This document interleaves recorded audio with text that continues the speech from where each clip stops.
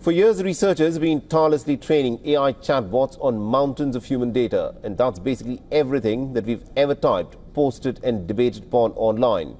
But here's where it gets really wild. A new study now suggests that the tables are turning.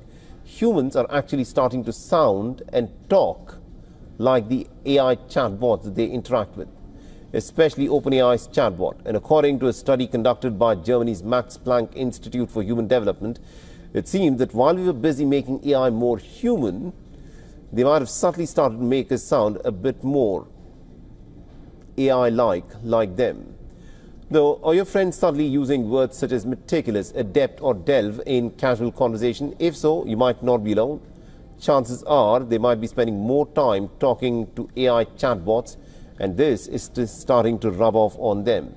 The researchers at Germany's Max Planck Institute for Human Development analyzed more than 360,000 YouTube videos from academic channels and over 770,000 conversations AI podcasts. They discovered that ever since ChatGPT burst onto the screen, people are now using certain kinds of words far more frequently. And these aren't just everyday words, most of them often pop up in AI generated text pretty much all the time. And what really is interesting is that these scripts aren't generated by bots, but by regular folks who are beginning to mirror the communication style of AI without even realizing it.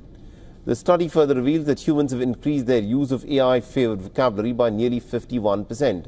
Although this study focuses primarily on AI language and adoption, some experts believe that AI might also be influencing how we sound. According to a study titled Emotion AI by Trend Research and Advisory, a UAE based company, humans might subconsciously start to mirror AI's neutral communication style instead of displaying the emotions in the manner that we normally do. The thought itself is pretty scary and it raises a critical questions. Is our evolving interaction with technology a risk that we are willing to take and a risk where we may end up losing the authentic human touch? That makes us unique. For all the latest news, download the WION app and subscribe to our YouTube channel.